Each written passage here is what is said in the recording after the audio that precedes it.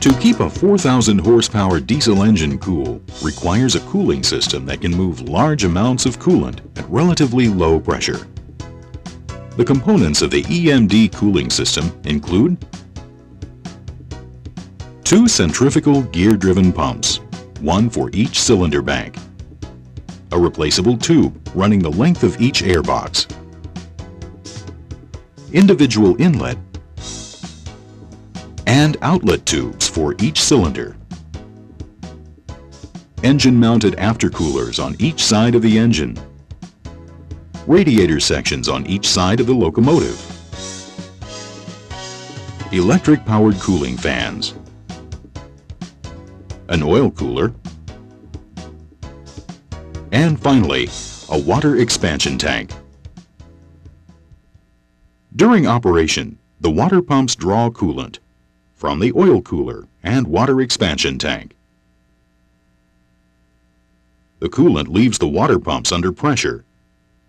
This pressure forces coolant through the pipe in each air box, where each cylinder is connected by a curved tube referred to as the lower water jumper.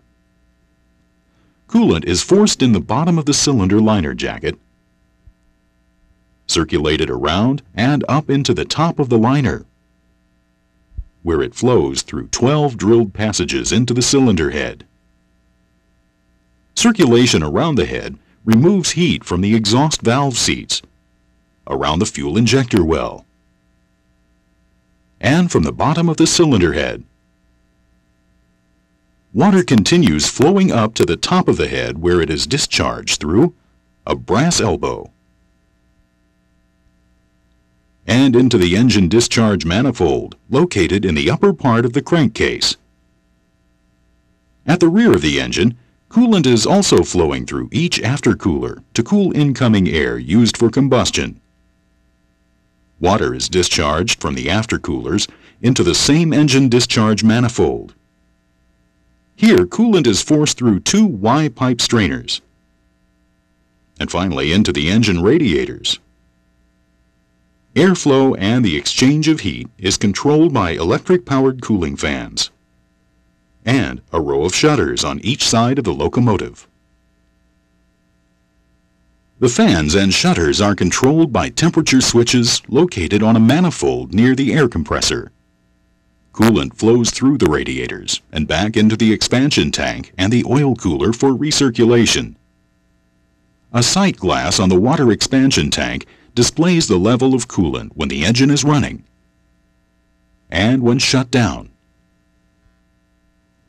Pressure inside the expansion tank is controlled by a 7 psi pressure cap, mounted on a filler neck located on the side of the tank. A combination vent-fill valve is used to maintain pressure inside the tank. This raises the boiling point of the coolant and prevents the water pumps from cavitating.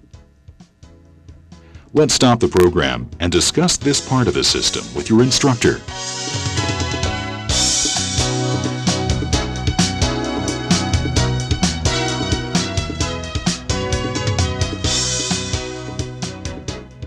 There are few periodic maintenance requirements other than ensuring that the system is free of leaks that could contaminate the oil or lead to a loss of coolant that could cause a hot engine condition or a low water shutdown. Occasionally, it may be necessary to remove the strainer from the Y-pipes and clean the screen. Each periodic inspection, or if a lab coat is reported, you are required to pressure test the cooling system. Prior to doing this test, it will be easier to find water leaks if a pint of fluorescent dye is added to the cooling system. Once the dye is in the system, you can use a black light to locate any water leaks. The leak will show up as a bright green spot against the dark background of oil. You should pay close attention to the area around the lower water jumper line for any leaking water or in the top deck around the water discharge elbow and the head to liner seal surface. repair any water leaks from the manifolds or piping at either end of the engine. Cooling water samples must also be taken when required to ensure that the specific concentration of corrosion inhibitor is maintained.